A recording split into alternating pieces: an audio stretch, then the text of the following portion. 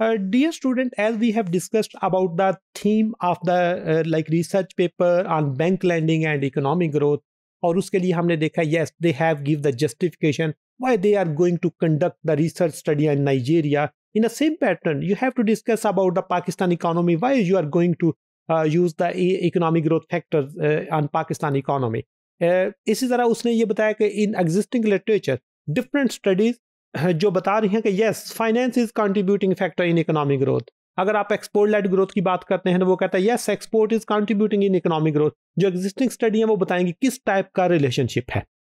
इसी तरह जब आपके पास लिटरेचर रिव्यू भी आ जाता है थ्योरेटिकल अंडरस्टैंडिंग भी आ गई है जस्टिफिकेशन ऑफ़ द टॉपिक भी आ गई है the next and most important thing is your data and a model and in data and model in the research paper Uh, they have used some data on Nigerian economy, model kis tarah develop kiya hai, I want to share with you.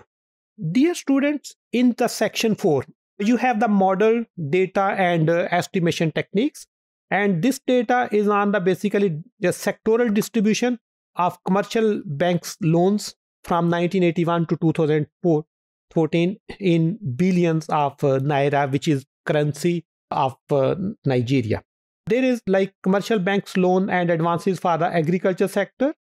In the second column, A for the industry, for real estate, for general commerce, for services. ये उसने पाँच sector लिए हुए हैं और पाँच sector का 1981 से 2014 तक उसने डेटा लिया हुआ है Then they have discussed about the SOR model, which is proposed by Zollner in 1962, which I have already discussed with you. And as far as the model is concerned यहाँ पे ये बता रहा है कि Zellner opine that the jointly estimated equation model such as method are more efficient than the independent equation और उसमें ये बता रहा है कि इसको क्या इसकी जस्टिफिकेशन है and a simple as process जो मैंने आपसे शेयर किया कि yes G R stand for your growth and growth के लिए जो आपने अभी इंडिकेटर डिस्कस किए हैं वो सारे आ जाएँगे। For the agriculture for the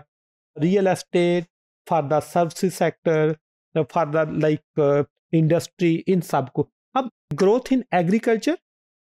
first model it depends on alpha not which is your constant. Alpha one is your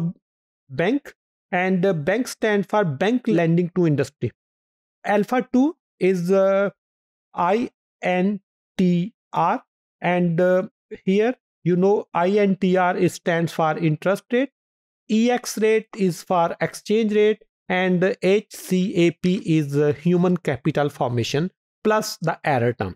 अब दूसरे मॉडल में आप उसी तरह उसको वो एक्सपेंड करता जा रहा है कि यस ये इंडस्ट्री के लिए है ये रियल एस्टेट के लिए है ये सर्विस सेक्टर के लिए है ये कॉमर्स के लिए है ये कहाँ पे जाए और आपके again the condition the dependent variable is going to change from agriculture to services and services to real estate and real estate to commerce and commerce to services but independent variables are same like you have bank inter exchange rate and human capital they are same अब इसमें क्या होता है कि ये simple O L S है, ये पाँच रिग्रेशन है। और इन पाँच रिग्रेशन की जो कोरिलेशन है, उसको वो एरर टर्म की like error E one